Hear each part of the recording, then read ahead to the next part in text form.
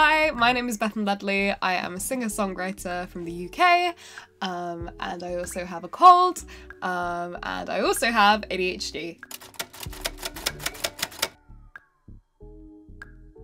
Why did I pick today to film a video if I have a cold? Um, long story short, I've tried to film this video four times and for some reason uh, everything, well, not everything, at least one thing seemed to go wrong each time I filmed a video. And today I have a cold and I just, I just want this video done, to be honest. if you film a video four times, you want it done, regardless of what it is, even if it is like a, a big topic. Also, side note, um, one of the reasons why my old video didn't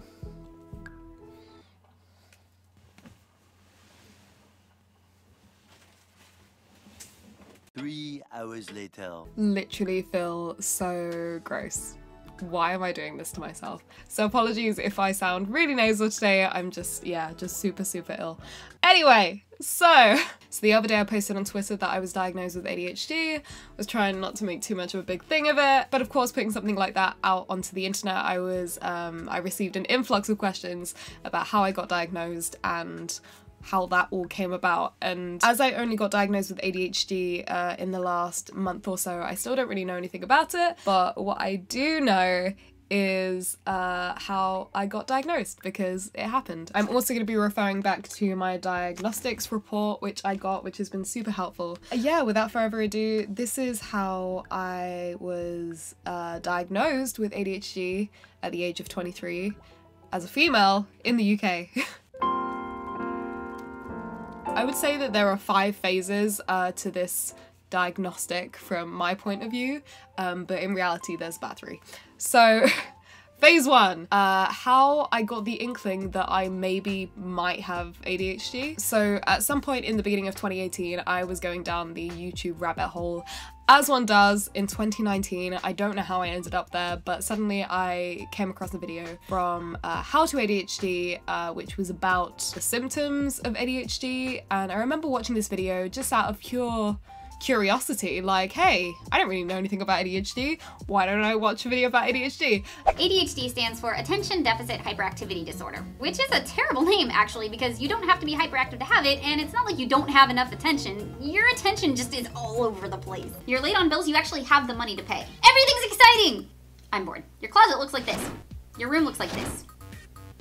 Your car looks like this. basically was uh, i guess to my shock i felt like the video was describing myself better than anyone has ever been able to describe me including myself it was really weird and i was quite surprised and this also led me on to another video which was about adhd in girls Boys often interrupt while other people are talking. Girls space out while other people are talking. What were you saying five minutes ago? Ah! Boys externalize their frustrations. Girls tend to turn pain and anger inward. And I tried to push this out of my mind because immediately, as soon as I thought, like, hey, this really sounds like you, I wonder if you have ADHD, Bethan says to herself, I immediately felt an immense amount of guilt. I was like, you don't have ADHD, what are you talking about? Like, people have this real problem, like, how dare you, you're just whatever. My entire life, I've definitely felt like I was different, but I guess I always just assumed um, that I was quirky. And then as I got older, I definitely had issues with mental health, but any of the kind of, I guess, mental health problems that were out there, I looked at them and none of them ever felt like textbook for me. You know, I wouldn't look at any of them and go like, ha, I have a lot of these symptoms. Like usually it would be that I would have a symptom or so that I could relate to maybe anxiety and depression and all these things but it never never felt like the full story when i was struggling especially coming into my early 20s um, I always assumed that maybe I wasn't struggling that much and it was just a part of being in your 20s and everybody is like messed up. And to be honest, I don't think that's far wrong um, still. But um, yeah, there was this um, realization that uh, all of these things that were being said, not only do they relate to how my life is now, they really relate to how my life has always been. Yeah, I don't know it was really odd. I can't I can't quite explain it. Um I felt guilt. I was like, no, you don't have it, don't be silly. And I, I tried to push it out of my mind for days and days and days. And in the end I kind of came to this kind of conclusion that like if I'm thinking about it this much and I really did feel like you know, someone was describing me, then what is the harm in going to the GP and asking? Right? So then we enter phase two, which was going to see my GP. Hey, this is gonna sound crazy, but I saw this video and it, I don't know, like I felt like I could really relate to this. Like someone was talking about me and I'm quite confused. Um, what do you think? And he proceeded to ask me a bunch of questions in which I responded to. In the end, he basically said, okay, well, it sounds like it could be a possibility. I will send uh, you off for a referral. Now, in the UK, we are absolutely blessed with the NHS. Um, it's wonderful, um, but obviously that includes a lot of long waiting periods. So the wait until my referral appointment to like an ADHD psychologist specialist um, was a year. Almost exactly a year later, I got an appointment with a senior clinical psychologist who basically sat me down and said, Listen, this is the weaning out period. Talking to one of the psychologists later on, apparently, this period they really do wean out a lot of people that don't have ADHD. So, this is really a good initial um, assessment. It was actually quite short, I think it was 30 minutes to an hour, um, which yeah, when I tell you the length of the other appointments I had, that was the short one. Yeah, it was really good. He asked me a bunch of questions, I replied to them. And then also he gave me a bunch of forms to fill out, which I gave back to him. And then he said, Right, I believe that there is enough info here to suggest that you may have ADHD, so therefore you're going to be given a, another appointment with another psychologist where you will do some more kind of, I don't know, literal tests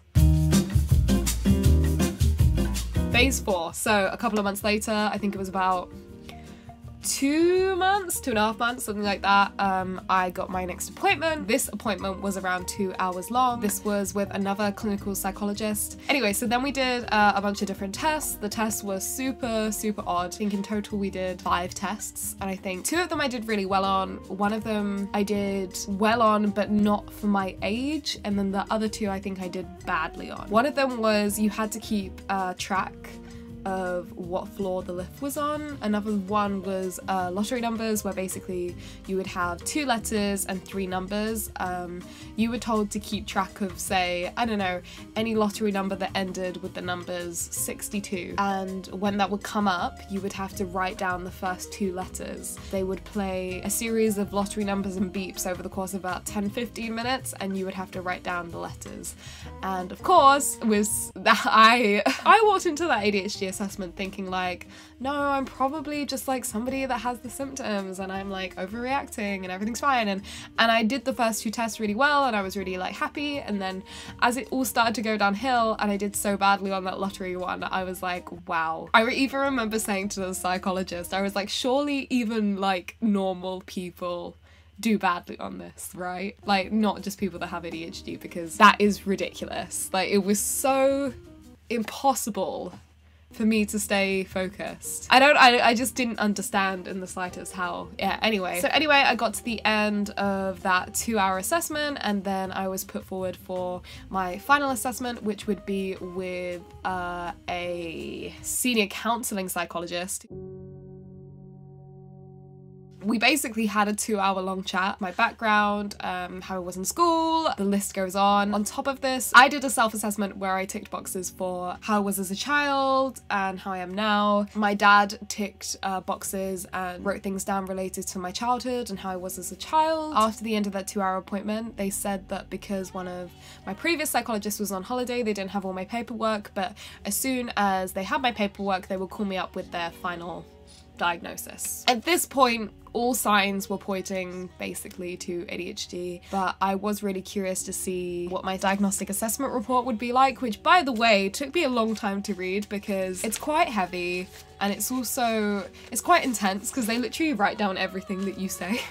and like imagine like talking for 2 hours. I just get really stressed out like the walls are listening. Um so, I'm sorry if the papers are really um annoying. Ah, ah, ah, so I was given a DSM-5 diagnosis of attention deficit hyperactivity disorder combined type. And combined, as far as I'm aware, is the most common version of ADHD, type of ADHD. Kind of hard to explain how ADHD I am, but I was more ADHD than I thought I was basically. My general ADHD observations substantial uh, difficulties with attention slash distractibility and speech quality, which is quite funny for somebody that has a YouTube channel and also presented for 4Music. Um, but you know, we're struggling behind the edits. Moderate in restlessness, uh, fidgeting, concentration, forgetfulness, impulsivity, coping with silence, and typical presentation of ADHD in organization skills. Reading all of the things that they've written about me that they've um, kind of observed. This is one of my favourite things that I wrote down. Although you appear to show several difficulties which often are indicative of ADHD, you demonstrated some strategies such as a sense of humour which perhaps help to mitigate this in social situations. I mean, yeah, what else are you gonna do? Come on now. Basically, it's a long ass assessment. In terms of how I feel about diagnosis, something that I listened to on a video about somebody that got diagnosed with ADHD is that you are gaining uh, not necessarily a solution, but an answer to the difficulties that you've been having and why you are the way that you are.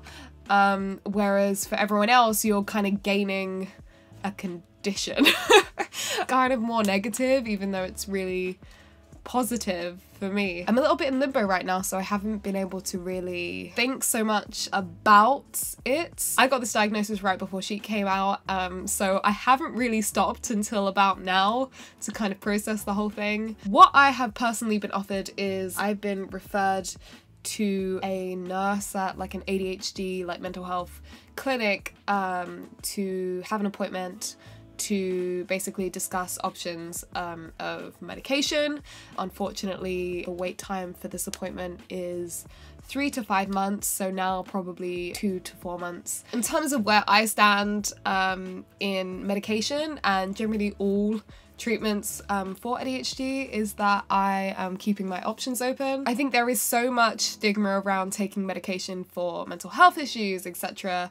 And I there are so many people out there that are for and against it, but at the end of the day, I think it's whoever is dealing with said problem or I don't know, whatever you want to call it, they should be the ones that are able to make that decision. Since getting my ADHD diagnosis, before even talking really about medication. So many people were like, ah, oh, you shouldn't take it, don't take this, don't take that. I find it absolutely baffling that we are still in this place in 2019 where we think that every drug works for every person or every drug doesn't work for every person, if that makes sense. We are all different. Things affect us in different ways. The same goes for contraceptive pills, the same goes for ADHD medication, antidepressants, um, the list goes on. I really do want people to talk about their experiences in the comments, but instead of maybe saying don't take this or do take this, maybe just say I've had a good experience with this or I personally had a bad experience with this because we shouldn't like be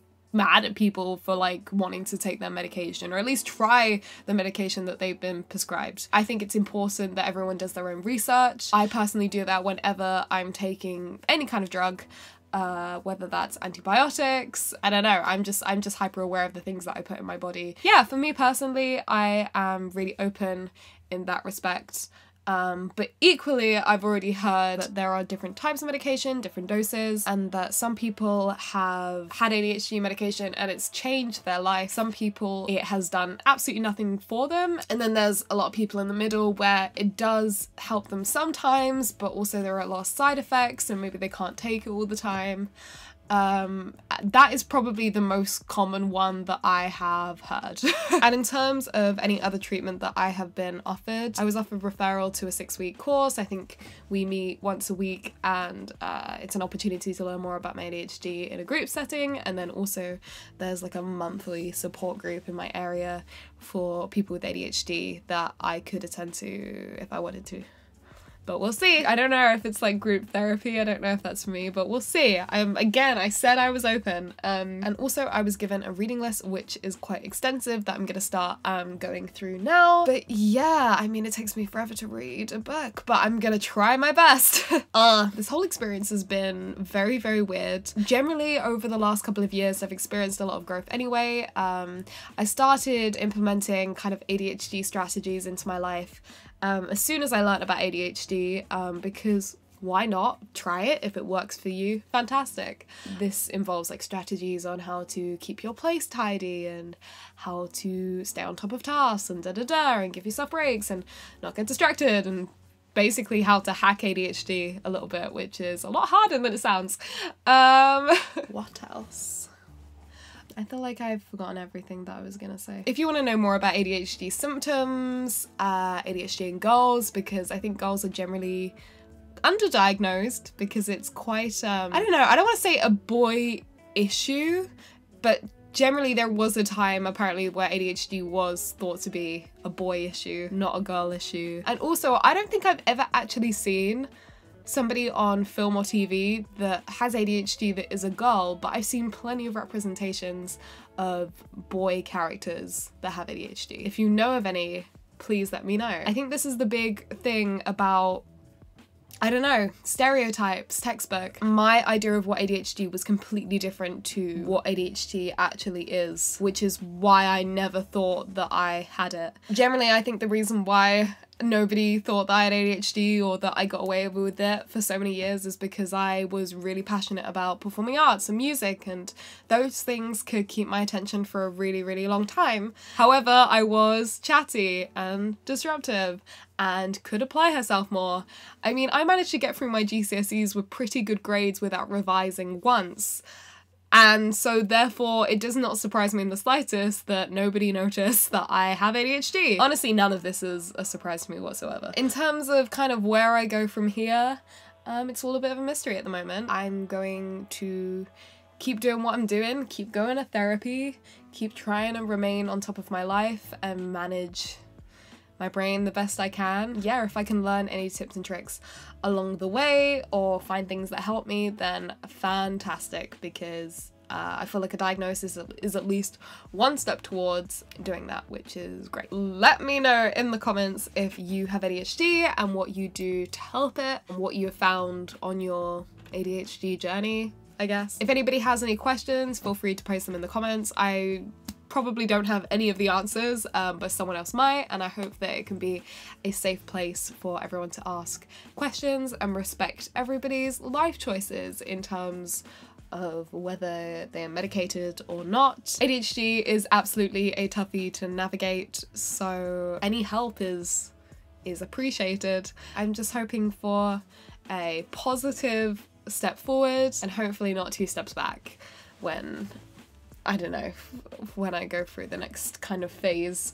Everything itches. I need to go. Thank you so much for watching this video. Um, yeah, hope it was helpful. Thanks so much. Bye.